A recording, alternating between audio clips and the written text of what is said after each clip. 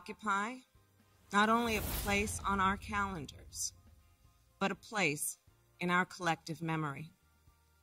December 7th, 1941.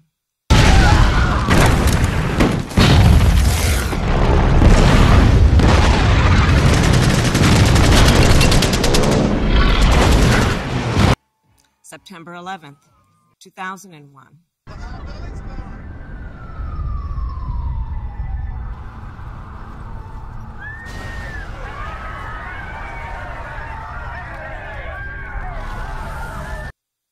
And January 6th, 2021.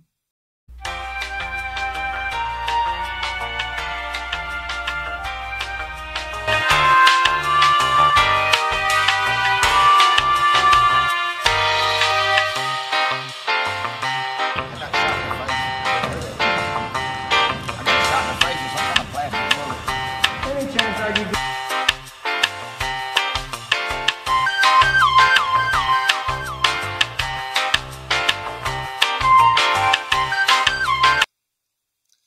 who had been forced to seek refuge in our office, converting filing cabinets into barricades.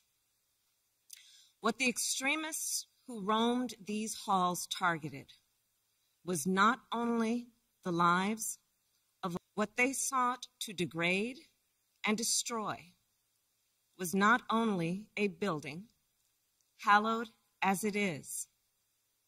What they were assaulting were the institutions, the values, the ideals that generations of Americans have marched, picketed, and shed blood to establish and defend. On January 6th, we all saw what our nation would look like if the forces who seek to dismantle our democracy are successful. The lawlessness, the violence, the chaos.